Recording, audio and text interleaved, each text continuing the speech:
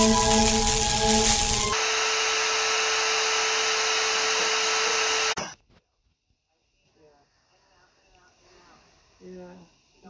is what you get when you give 89 cents tip for an almost 30 minute drive.